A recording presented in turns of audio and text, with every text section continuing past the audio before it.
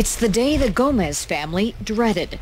A family split in two by a U.S. deportation order. At Miami International Airport, Juan and Alex Gomez pose for pictures with their parents before saying goodbye. Federal agents are making sure their parents are on a plane back to their native Colombia. It's the first time the family's ever been apart. I think it's very un-American. Thank you. But 17 years after filing an asylum claim, appeals denied, and government inaction, wheels started turning. Last summer, federal agents arrested the entire family for not leaving. Friends mounted a publicity campaign all the way to Capitol Hill, and the family won a temporary reprieve Juan and his brother hoped the DREAM Act would keep their family together. The proposed bill would allow an estimated 65,000 undocumented students like Juan to apply for permanent residency if they got a college degree and stayed out of trouble. Their families could also stay. But last week, the Senate voted to kill the bill. It absolutely is a backdoor amnesty. Uh, more than that, um, we're financially rewarding people who've come illegally before we've gotten our enforcement system in place. The Gomez family argues that in their case, they did not come to the U.S. illegally. Juan and Alex, now 18 and 19, were toddlers when the family arrived in Miami in 1990 on a tourist visa and then asked for asylum based on what they said was a fear of persecution. The boys went to school here, did volunteer work, played football graduated high school with honors. It's the place where we can succeed. It's the place where we've, you know, grew up in. Their parents even ran a catering business, paid their taxes, broke no laws. Are we any safer?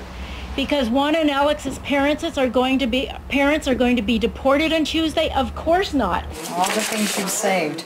Mr. Gomez packed every tax record along with stacks of mementos of how well his boys did in school.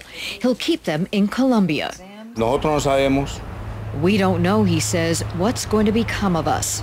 The Gomez brothers can stay until 2009, while Congress considers a private bill on whether the boys can stay permanently but they will live alone.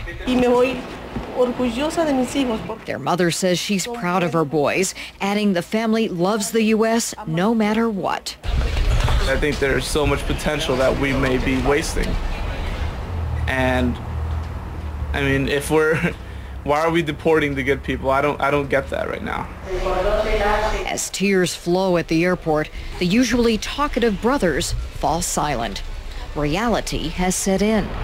As their parents' plane heads for Colombia, two teens will fight for the right to remain in the U.S. on their own.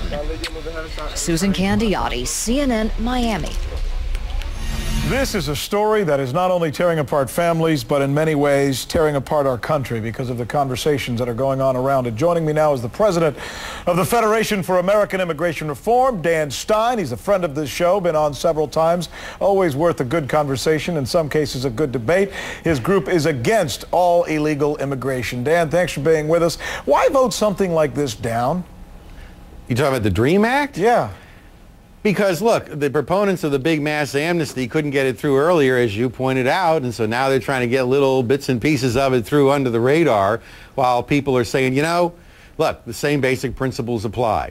This but country needs wanna, to be. But, but, but, but, Dan, don't we want to come up with a plan that allows a, a process to be established where we as a nation decide, yes, there's a lot of people in this country, let's go through them and find out who are the good ones? Who are the bad ones? Separate the wheat from the chaff. Get rid of the bums and keep the good ones. I mean, what's wrong with doing a, something like that?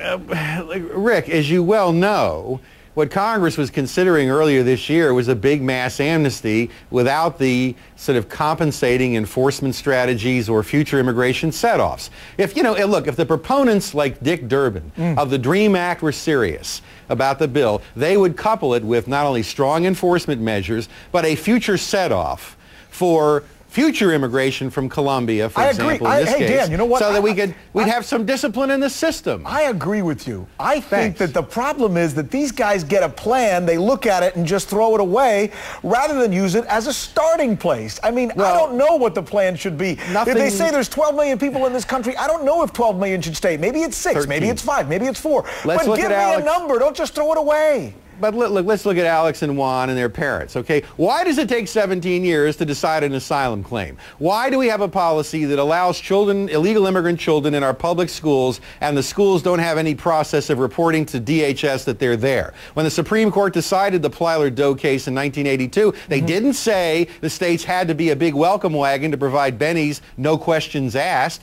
So there are a lot of questions raised here, and the problem is that the Senate bill earlier this year doesn't go to the core structural problems of why we're not controlling our borders and how we're selecting immigrants. But as Americans, it, it's just a big mass I, I, amnesty. I, listen, by the way, you and I are 100% in agreement on that. I am here's so what, glad. But here's what it looks like. It looks like so many Americans are right now going to the easiest targets in the world. Some poor Mexican immigrant. You know, my dad and yours always said, you want to be tough, go to the biggest guy in the playground and punch him in the nose. We're going to the playground and finding the littlest guy and punching him in the nose. I mean, that's what it looks like.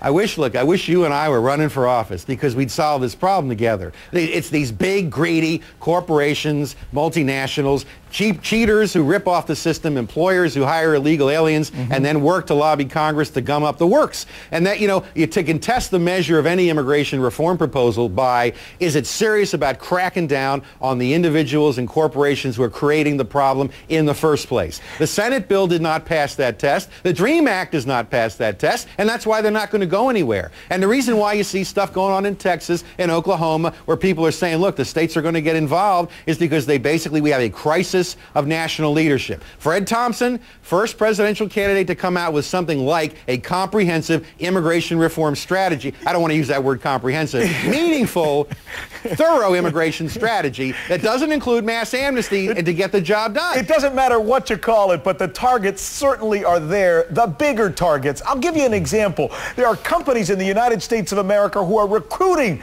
workers from south of the border. You know that, and I know that. Yeah, and they're sure. doing so because because the United States government has all but left the door wide open and told these people, go ahead and come in with a wink and a nod. So how then can we say to these people, come into my living room, but then get mad when they sit on our couch? Yeah, but the point is the Gomez's were taking advantage of a, of a backlog, gummed up procedural process that enabled them to screw around with the system for 17 years. Yeah. That's not what I would call efficient immigration management. And then, remember, the Gomez brothers can go back home. They can live their lives there. They're citizens. They can buy property. They can contribute to grow Colombian society. All the people here who've been educated at our expense can now go back to Mexico, Colombia, Asia, other countries, and build those societies to make them well, really wonderful places. I don't know. It's don't, a form I, of foreign aid, and we do both countries, ours and theirs, a favor. I don't know, Dan, about educated home. at our expense. I mean, these people have had a business. They've paid their taxes. They've worked hard. They've made incredible contributions, and said at our expense makes it sound like they were here stealing something from us. Well, we'll no, have, but, we'll but no, but we shouldn't again. allow people. We shouldn't allow people to buy their way into the country just because. Look, if they paid taxes, does that mean you'd support deporting the ones who didn't? That's a good question. You and I, again, we'll continue these debates because I always enjoy them and I know our audience does as well. Dan Stein, thanks so much Thank for you. being with us. We want to know what you think about this because it certainly is a fantastic conversation that we all should be having at our dinner tables in America. Should children of illegal immigrants like these two young men, good students, or go to college, or join the military, should they be allowed to stay in the United States? That's what the DREAM Act says. Vote at cnn.com slash out in the open.